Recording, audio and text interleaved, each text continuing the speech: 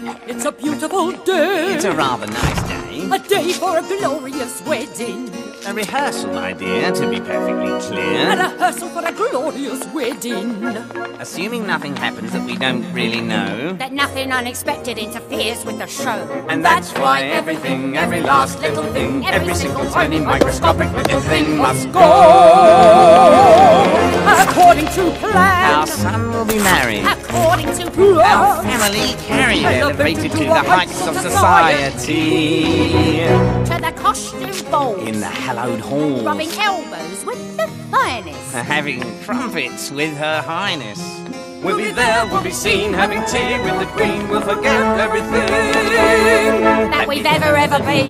Fish merchants. It's a terrible Now day. don't be that way. It's a terrible day for a wedding It's a sad, sad state of affairs we're in. that has led to this ominous wedding. How could our family have come to this? To marry off our daughter to the nouveau riche. They're so common. So coarse. Oh, it couldn't be worse. Couldn't be worse. I'm afraid I disagree. There could be land-rich bankrupt aristocracy without a penny to their name, just like you why everything, every last little thing, every single tiny microscopic little thing must go. According to plan, Our daughter will wed. According to plan. Our family led From the depths of deepest deepest poverty. Of our ancestry, and who would have guessed in a million years that our daughter with the face of an otter in disgrace would provide our tickets to our rightful place?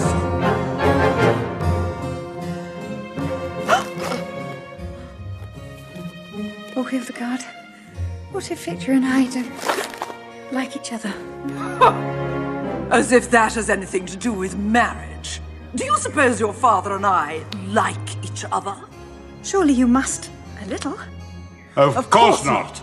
Get those corsets laced properly. I can hear you speak without gasping.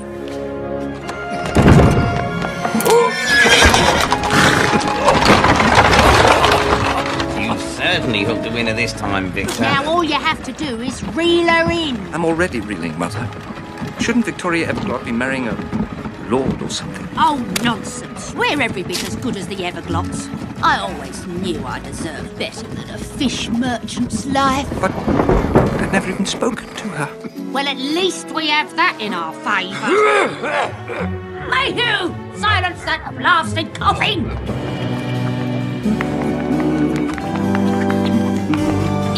Marriage is a partnership, a little tit for tat. You'd think a lifetime watching us might have taught her that. Might have taught her. Everything must be must perfect. be Everything must be perfect, perfect. That's why everything, every last little thing, every single tiny microscopic little thing must go according to